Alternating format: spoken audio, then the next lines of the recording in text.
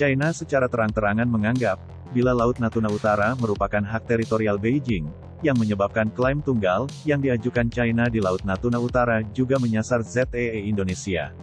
Ini menjadi akar penyebab hubungan China dan Indonesia, memiliki tensi yang tinggi di Laut Natuna Utara. China berargumen, bila Beijing berhak atas Laut Natuna Utara berdasarkan Nine Dash Line. Padahal pengadilan internasional telah memutus, bila klaim China atas Laut Natuna Utara tak sah. Oleh sebab itu, apa yang dilakukan China di Laut Natuna Utara merupakan tindakan ilegal.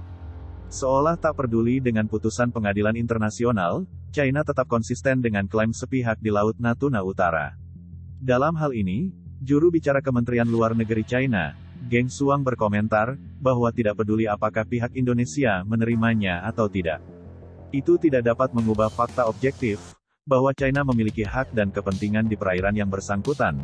Jelas jubir Kemenlu China Geng Suang, dikutip dari 163.com, pada tanggal 26 Mei tahun 2021, sebagaimana dilansir zonajakarta.com. Klaim China atas Laut Natuna Utara yang menyerobot ZEE Indonesia, juga menimbulkan ketegangan geopolitik. Terlebih saat kapal survei dan penjaga pantai China, dengan berani memasuki ZEE Indonesia di Laut Natuna Utara. Sekitar akhir Agustus, sebuah kapal survei China, dan dua kapal penjaga pantai masuk ke ZEE Indonesia, meningkatkan ketegangan geopolitik antara kedua negara, jelas The New Indian Express, tanggal 7 Januari lalu. Ketegangan terus meningkat, saat China meminta Indonesia menghentikan eksplorasi migas, di Blok Tuna Laut Natuna Utara. Bahkan, jauh sebelum itu, tepatnya di tahun 2019, Indonesia dan China nyaris terlibat perang.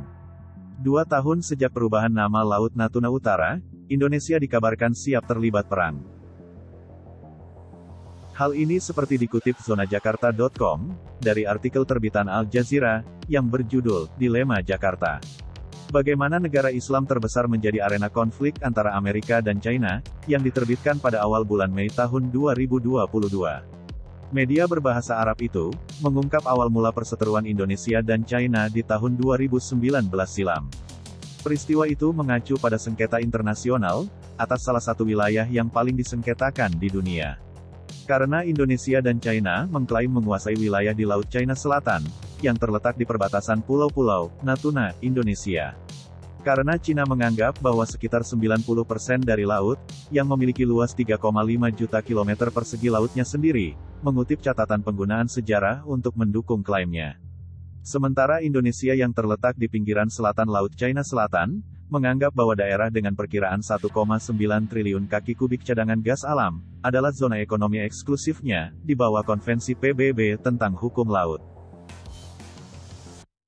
Pada akhir 2019, dunia hampir menyaksikan konflik militer antara Indonesia dan China, sebagai akibat dari praktik terakhir di kawasan ekonomi Pasifik, yang oleh Indonesia disebut Laut Natuna Utara, sementara Beijing menganggapnya sebagai daerah penangkapan ikan tradisional China. Pada saat yang tepat, pasukan penjaga pantai China mulai merambah ke wilayah tersebut, dan Jakarta tidak menemukan cara selain mengirim kapal perang dan pesawat tempur F-16, dan juga mengundang kapal penangkap ikan Indonesia untuk pindah ke daerah itu. Tetapi ketegangan mereda dengan cepat setelah Cina mundur dari daerah itu, menembusnya, tulis Al Jazeera. Sebelumnya, dikutip zonajakarta.com dari BBC, Indonesia mengambil langkah berani pada tahun 2017 lalu, dengan mengganti nama zona ekonomi eksklusif di bagian utara Kepulauan Natuna, menjadi Laut Natuna Utara, beberapa di antaranya berada dalam sembilan garis putus-putus yang diklaim oleh China, yang dianggap sebagai niat untuk menantang klaim kedaulatan Tiongkok di Laut China Selatan. Media China, 163.com, dalam artikelnya terbitan tanggal 12 September tahun 2019, merasa heran dengan langkah Indonesia, yang mengganti nama Laut China Selatan jadi Laut Natuna Utara.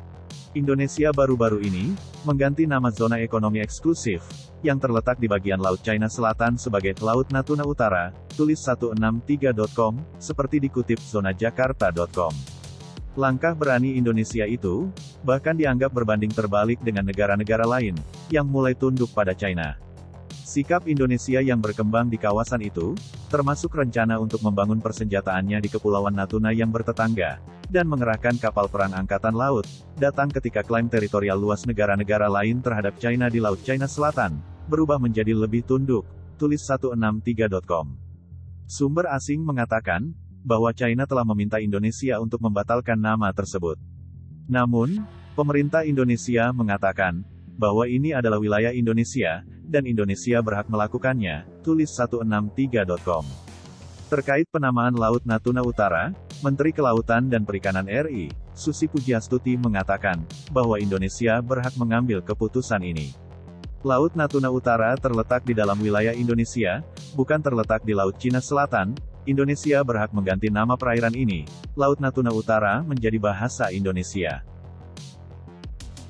Sebagai tanggapan, juru bicara Kementerian Luar Negeri China, Geng Suang, menanggapi pada tanggal 14 Juli, saya tidak memiliki situasi spesifik yang Anda sebutkan. Tapi yang ingin saya tekankan adalah, sejak lama, Laut China Selatan, termasuk nama tempat standar bahasa Inggrisnya Laut China Selatan, telah digunakan sebagai nama entitas geografis internasional, cakupan geografisnya jelas, dan sudah lama digunakan, diakui dan diterima secara luas oleh masyarakat internasional, termasuk PBB. Perubahan nama yang disebut tidak ada artinya, dan tidak kondusif bagi upaya standarisasi nama geografis internasional. Diharapkan negara-negara terkait akan bertemu dengan China di tengah jalan dan bersama-sama mempertahankan situasi baik yang diperoleh dengan susah payah dalam situasi Laut China Selatan saat ini, tulis 163.com dalam artikelnya.